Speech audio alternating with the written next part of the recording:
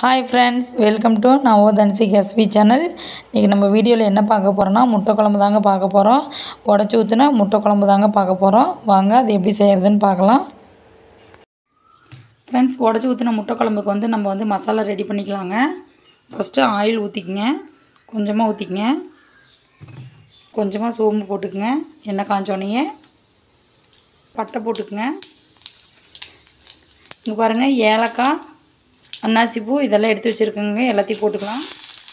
Friends அடுத்தது வந்து வெங்காயம் போட்டு வணக்கலாங்க. கொஞ்சம் சிம்மிலே வச்சு செஞ்சுருங்க இல்லைன்னா கருகிரும்.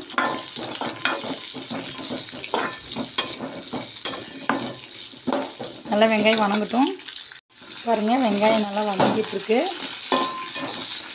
அடுத்தது வந்து இஞ்சி பூண்டு சேர்த்திக்கங்க.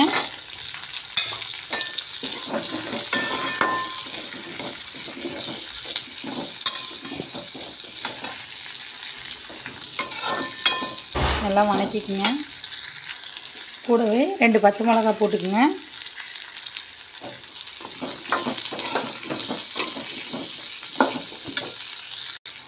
அடுத்தது ஒரு மூடி தேங்காய் சேர்த்துக்குங்க.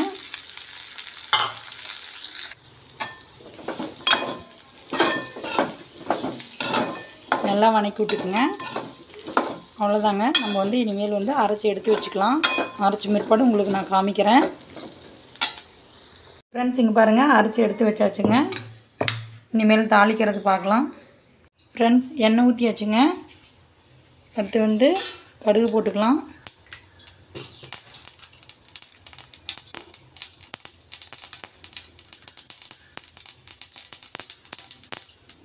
கடுகு பொரிஞ்சோடனே இங்கே பாருங்கள் பிரியாணி இலை ரெண்டு பட்டை ரெண்டு போட்டுக்கங்க. இது கறிவேப்பிலை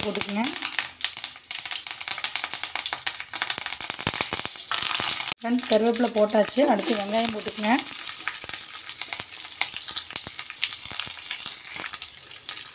நல்லா வணக்கிக்கலாங்க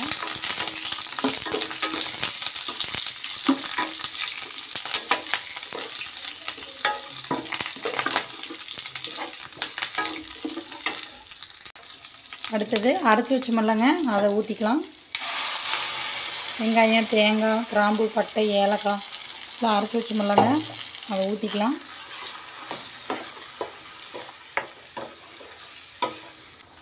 மஞ்சத்தூள் போட்டுக்குங்க.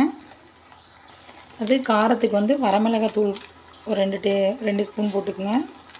உங்களுக்கு தேவைங்கிற அளவுக்கு நீங்கள் யூஸ் போட்டுக்குங்க. அடுத்தது மல்லித்தூள். கொஞ்சமாக போட்டுக்குங்க. நல்லா அடிப்பிடிக்காமல் கிளறி விட்டுக்குங்க.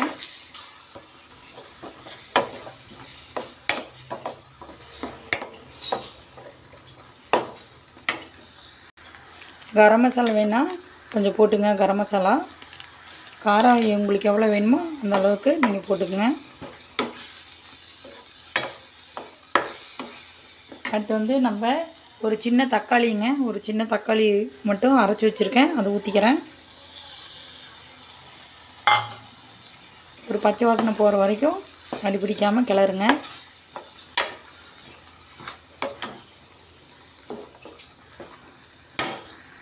அடுத்து வந்து உப்பு போய் சேர்த்திக்கிங்க.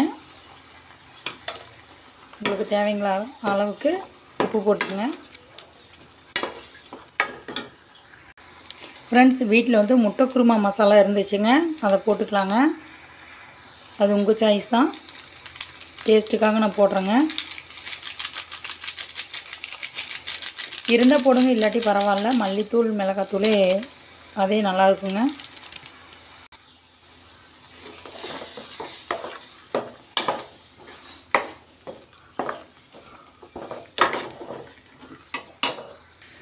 ஃப்ரெண்ட்ஸ் அடுத்தது வந்து நீங்கள் வந்து எவ்வளோ குழம்பு வேணுமோ அந்த அளவுக்கு கொஞ்சமாக தண்ணியை சேர்த்திக்கிங்க.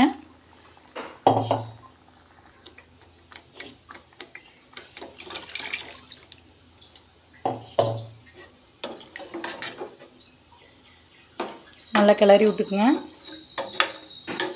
அதுக்கப்புறம் கொதிக்க விடலாங்க. கொதித்த பிற்பாடு முட்டையை உடச்சி ஊற்றிக்கலாம் ஃப்ரெண்ட்ஸ் அவ்வளோதாங்க. குழம்பு கொதிச்சிருச்சுங்க.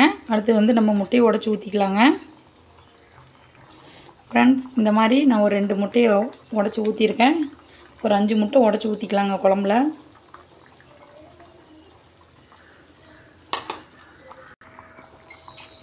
பவுலில் உடச்சி வச்சுக்கிட்டேங்க.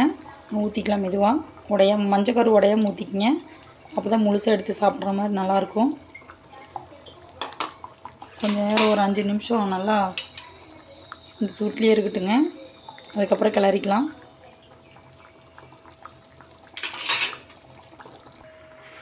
சிம்மிலே வச்சுக்கோங்க. இல்லாட்டி அடி பிடிச்சிரும். சிம்மிலே வச்சு இந்த முட்டை வந்து அப்படியே கொஞ்சம் பாயிலாக வர வரைக்கும் கிளறாமல் அப்படியே வச்சுக்கோங்க.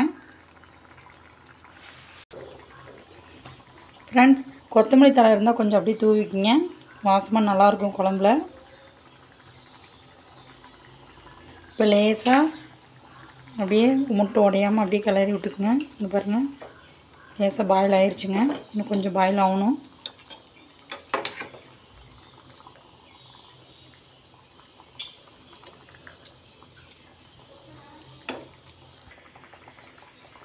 முட்டை குழம்பு ரெடி ஆயிருச்சு. இங்கே பாருங்கள் சூப்பராக வெந்திருக்கு பாருங்கள் முட்டை.